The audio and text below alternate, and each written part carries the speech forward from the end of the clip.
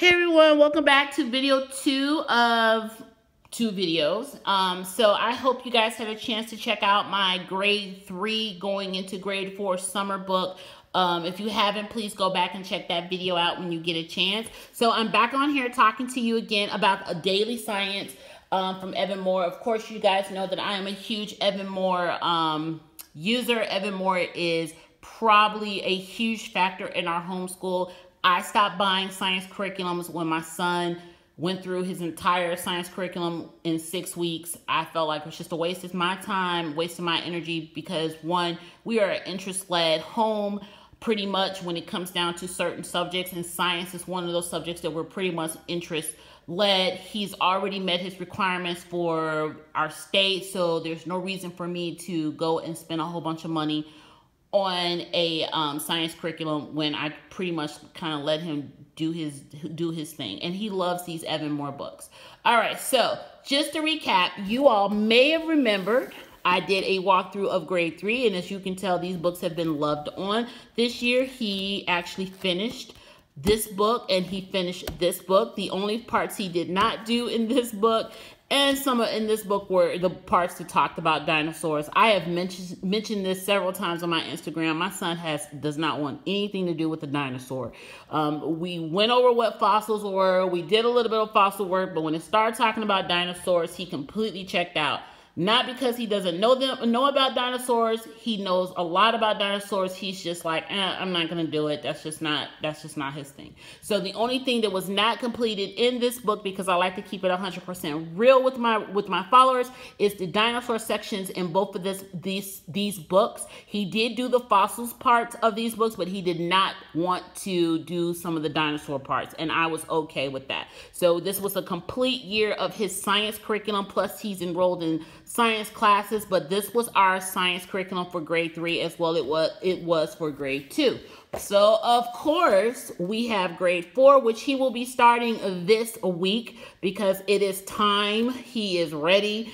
Um, and so we will start daily science this week. I'm probably going to try to hide the skill sharpeners book until later on this spring, but I don't know. It depends on him. He loves science. Science is his jam. So let's go ahead and dig right into grade three so you can see what it's all about. You may be trying to figure out like, hmm, what is this she keeps passing back and forth here, this teaching guy? Well, this is new this year for the skill sharpeners books. Now, let me just tell you that if you want to get a hold of this teaching guide, you will need to get your Evan-Moor book from the Evan-Moor website because the third party books like Amazon or Rainbow Resources or any third party sellers do not have the new updated Skill Sharpener science books. And the updated Skill Sharpener science books are not in the teacher file box. And so you would definitely need to grab this book from you would definitely need to grab this book from Evan-Moor to get the updated version of this book. We actually have the updated version to the new grade four math um, skill sharpeners. My son is already working his way through that book, and um, I really do love the redesign of the book.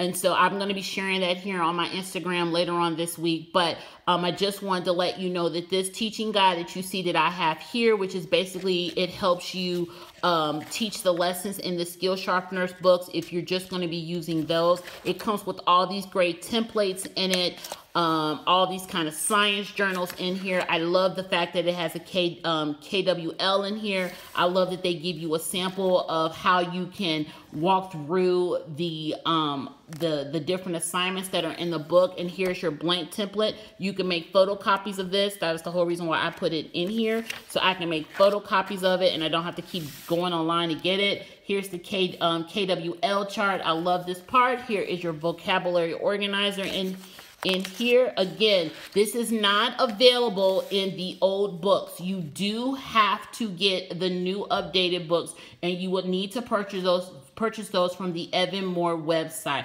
They will not be available as of yet on, on Amazon, Rainbow Resources, and any third-party seller that has Evan-Moor books. So this is one that you're going to have to grab from the actual Evan-Moor website.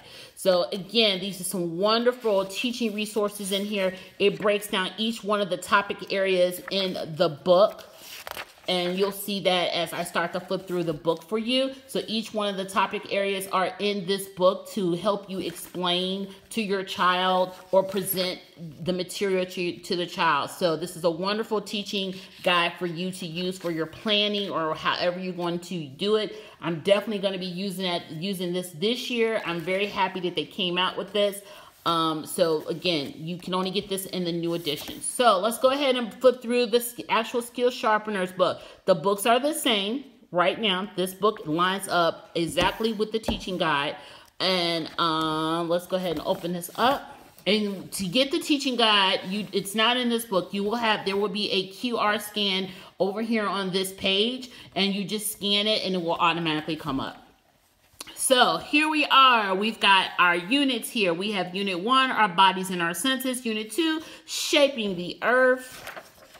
And then we have unit three, waves, and unit four, energy. So there is a lot of material that is going to get covered. And as you can tell, each one of the units has four different sections. So this is not a book that you can completely um, run through. So I tend to, what happens with this book is that um, majority sometimes I it will line up with what is in this book. And I've said this before. My son will go and do like Monday and Tuesday on one day. He'll do Wednesday and Thursday on another day. And then he will do Friday.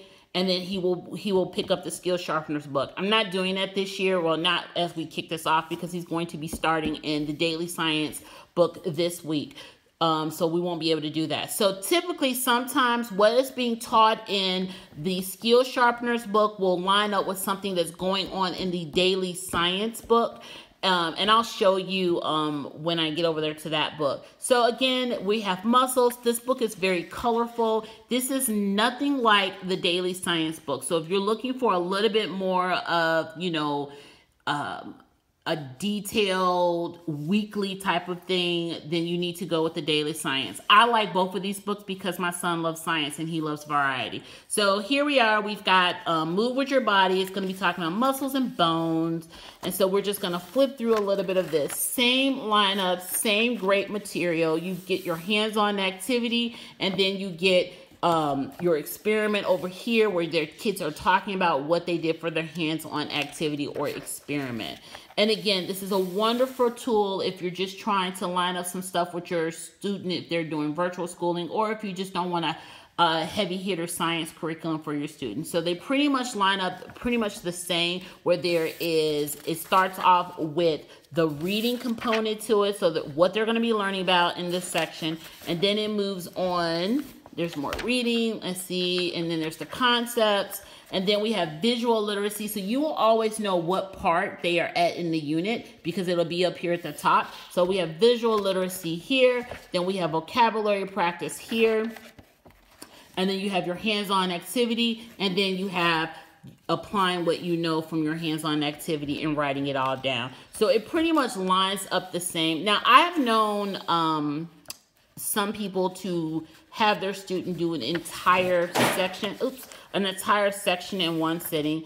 I personally don't advise that. I advise doing this over two to three day period of time because I feel like that you want to make sure that they're just not doing the work to get it done and that they're actually retaining the information. So I would recommend you break this down in two different steps or two different days.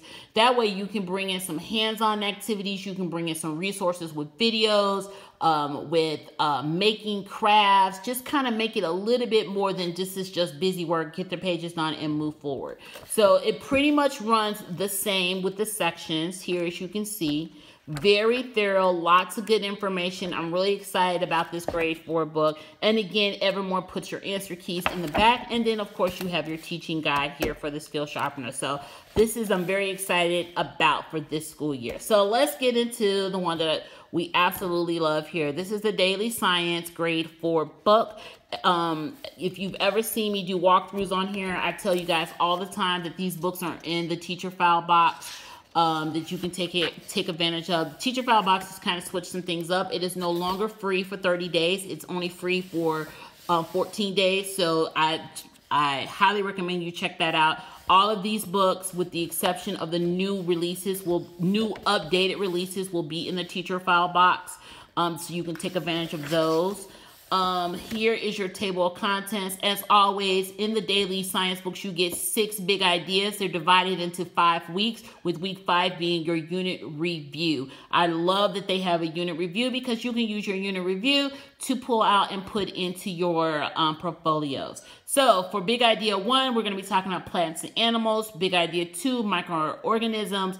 Um, big idea three, we're going to be talking about Earth's surfaces, and then we have properties of rocks and minerals, electrical energy, and inventions. And since we are going to be doing inventors um, for the month of February, I will be skipping down to big idea six. You do not have to do these in order. You can pull and do them as you please or you want to work them through. We do tend to work from start to finish, but because I saw that there's going to be um, inventions in here, and that's something that we're going to be working on for the month of February, we will be doing um, inventors. So he will do Big Idea week one um, this week, and then in February he we will skip down and we will do Big Idea six and go back after um, in March.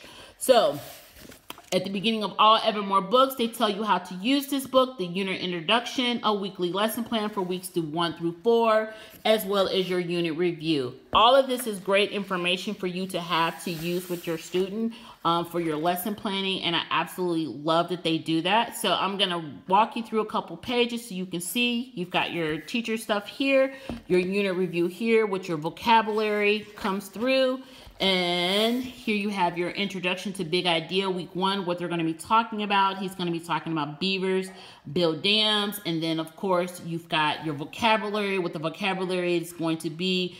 Um, everything that you need is all here for you. I love that there's talking points on here. This is a good place for you to start doing some research with your students to get them more interested in the topic that they're talking about.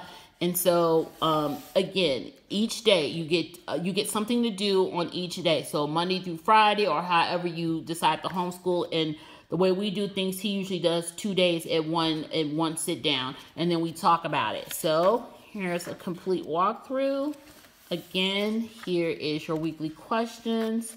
And then again, it starts again with the next week coming up. And I'll show you quickly a week five, what week five looks like. So here's your your unit review here. It comes with comprehension questions, um, meaning match. So basically everything that they learn for this entire unit, they should be able to demonstrate on the week five.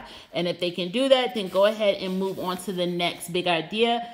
Um, if not, I would highly recommend that you go back and look at those items that they did not get correct. And this is a very lengthy weekly review. This is not something that they do like one page and then they move on.